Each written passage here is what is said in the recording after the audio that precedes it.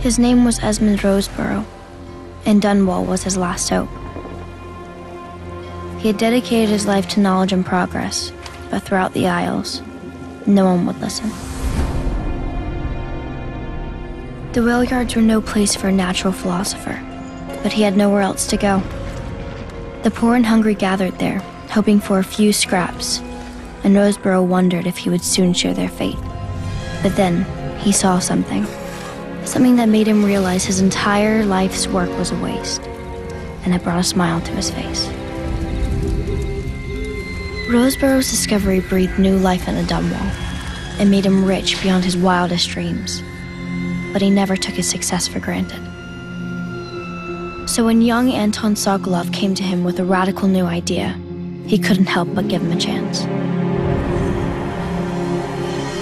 Sokolov's ideas ushered Dunwall into a new era of technology. But over time, Roseburrow learned that sometimes progress comes at too great a cost.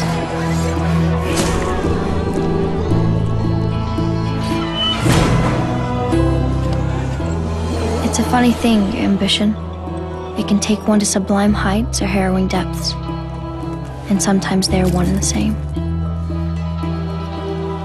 Roseburrow learned that lesson all too well.